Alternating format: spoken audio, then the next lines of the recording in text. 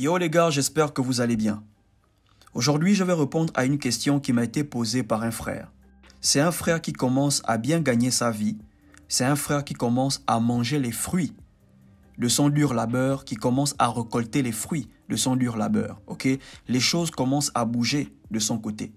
Et il n'aimerait pas perdre son temps avec les femmes. Du coup, il aimerait savoir comment reconnaître une bonne femme. Comment reconnaître une mauvaise femme? Ok les gars, une femme qui n'est pas bonne pour vous. Quelle est la différence entre une femme qui vous aime et une femme qui ne vous aime pas? C'est une très bonne question que je vais prendre le temps de répondre parce que beaucoup d'hommes ont du mal à lire entre les lignes. Beaucoup d'hommes manquent de discernement. Il y a des hommes qui ont du potentiel, mais ils terminent avec les mauvaises femmes. Ce qui fait que leur potentiel s'éteint ils perdent leur potentiel parce qu'ils sont en couple avec une mauvaise femme. ok? Tout ça parce qu'ils manquent de discernement et ils ont du mal à lire entre les lignes. Voilà pourquoi c'est une question que je prends le temps de répondre. Ok les gars? Pour tous les hommes qui commencent à réussir, pour tous les hommes qui ont du potentiel. Mais avant de répondre, j'aimerais préciser quelque chose. Quand vous commencez à gagner votre vie, quand vous commencez à gagner de l'argent, Croyez-moi les gars, ce n'est pas le bon moment de chercher une femme. Ce n'est pas le bon moment de chercher à fonder une famille. À peine vous gagnez de l'argent, à peine vous trouvez le boulot, ce n'est pas le bon moment. Vous devez savoir que votre premier salaire, c'est comme une sémence. C'est votre première sémence. Et vous ne devez pas le manger tout de suite.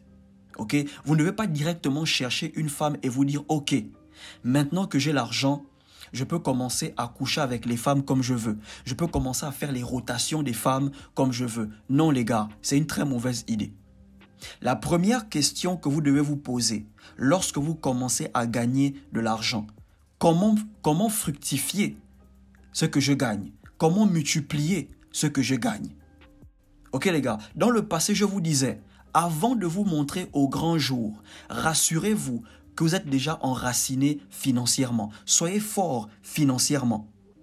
Ok les gars, le fait d'encaisser votre premier salaire ne veut pas dire que vous êtes déjà fort financièrement. Non les gars, être fort financièrement, ça veut tout simplement dire que vous avez des revenus consistants dans votre compte en banque, dans votre compte mobile. Ok les gars, le truc c'est pas que tu es forcément riche, mais tu as au moins un gain qui te permet de prendre soin de toi-même et qui peut te permettre de prendre soin d'une autre personne. Donc la question que tu dois te poser, est-ce que tu es déjà assez stable financièrement pour être capable de prendre soin d'une autre personne? Ça, ce sont des questions que vous devez vous poser lorsque vous commencez à gagner de l'argent. Parce que je vois beaucoup de jeunes hommes faire ce genre d'erreur. Dès qu'ils commencent à gagner de l'argent, aussitôt, ils veulent se montrer au grand jour. Ils veulent commencer à groover, à chiller, à faire la fête, coucher avec des meufs. Et croyez-moi les gars, moi-même, j'ai failli tomber dans ce genre de piège. Quand tu commences à gagner de l'argent, vous écoutez différents types de voix dans vos têtes. Ça y est, tu as l'argent. Tu peux ken le genre de meuf que tu veux. Ça y est, tu as l'argent. Tu peux commencer à faroter comme tu veux. Non les gars, donc, lorsque vous commencez à gagner de l'argent, c'est une très mauvaise idée de commencer à chercher les femmes. Ok les gars, ne vous y trompez pas. Ok Enracinez-vous d'abord financièrement. Vous devez arriver à un niveau où vous vous demandez, est-ce que en ce moment, je peux prendre soin de moi et en même temps d'une autre personne? Si ce n'est pas le cas, ne te lance pas rapidement dans une relation. Avant d'aller plus loin, partagez la vidéo, laissez un like et abonnez-vous si vous avez aimé. La seule différence qu'il y a entre une femme qui vous aime et une femme qui ne vous aime pas, écoutez bien les gars, ok? Une femme qui vous aime, elle fera des choses pour vous. Ok les gars, une femme qui ne vous aime pas, elle ne fera rien pour vous.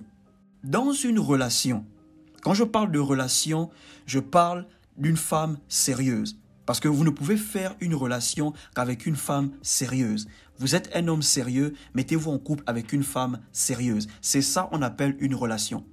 Si vous êtes un mec sérieux et vous fréquentez une femme qui n'est pas sérieuse, les gars, vous n'êtes pas dans une relation, vous êtes dans la merde. Ok les gars? Donc dans une relation, il faut savoir que les paroles ne veulent rien dire. Croyez-moi les gars, les paroles ne veulent rien dire. Tout ce qui compte dans une relation, ce sont les actions que la personne pose dans la relation. Est-ce que les actions que la personne pose dans la relation, est-ce que ça vous rend heureux? Est-ce que, ça vous, est que ça vous fait plaisir? Ou bien ces actions sont toxiques? Ok les gars, vaut mieux être en couple avec une femme qui vous dit rarement je t'aime, mais qui prend des risques pour vous, que d'être en couple avec une femme qui vous dit constamment je t'aime, mais qui ne fait rien pour vous, qui ne prend aucun risque pour vous. Je veux répéter pour les frères qui sont au fond. Vaut mieux être en couple avec une femme qui vous dit rarement qu'elle vous aime, mais qui prend des risques pour vous, que d'être en couple avec une femme qui vous dit constamment qu'elle vous aime, mais qui ne prend aucun risque pour vous. Ok les gars, qui ne fait rien pour vous. Parce que dans une relation, les paroles ne veulent rien dire. Tout ce qui compte, ce sont des actions. Ce qui rend une personne bonne ou mauvaise, ce sont les actions que la personne pose. Si une personne pose des bonnes actions, on dira que cette personne est une bonne personne. Si une personne pose des mauvaises actions, on dira que cette personne est une mauvaise personne. Vous devez évaluer les femmes que vous fréquentez. Depuis que tu es avec elle, qu'est-ce qu'elle a déjà fait pour toi? Si tu fréquentes une femme qui n'a jamais rien fait pour toi, c'est une femme qui ne t'aime pas. Ça fait un an que tu es avec elle, deux ans que tu es avec elle. Prends le temps de t'asseoir et de te demander, depuis qu'elle est avec toi, qu'est-ce qu'elle a déjà fait pour toi? Quelle est cette chose, cette action qu'elle a posée, qui t'a marqué, qui a amélioré les choses entre vous? Une bonne femme, c'est une femme qui pose des bonnes actions à votre égard, qui pose des bonnes actions dans la relation. Une mauvaise femme, c'est une femme qui pose des mauvaises actions à votre égard, des mauvaises actions dans la relation, qui ne fait rien pour vous, qui vous laisse faire tout le taf. C'est comme un frère qui m'a demandé quels sont les signes qui montrent qu'une femme ne se voit pas à long terme avec un homme. Quels sont les signes qui montrent qu'une femme ne se voit pas finir avec un homme. C'est simple, les gars. Une femme qui ne se voit pas finir avec vous ne vous parlera jamais de projet. Une femme qui ne se voit pas finir avec vous ne sera pas entreprenante dans la relation. Elle ne prendra aucune initiative. Chaque fois que vous allez aborder des sujets importants concernant la relation, elle sera toujours distante. Elle évitera toujours le sujet. Elle fera tout pour changer de sujet parce qu'elle ne se voit pas loin avec vous. Elle ne se voit pas finir avec vous. Mais une femme qui se voit finir avec vous, croyez-moi les gars, elle va vous gazer, elle va vous fatiguer. Elle vous parlera constamment de projets, projets de vie, projets en commun, parce qu'elle se voit finir avec vous. Elle sera entreprenante dans la relation. Ok les gars?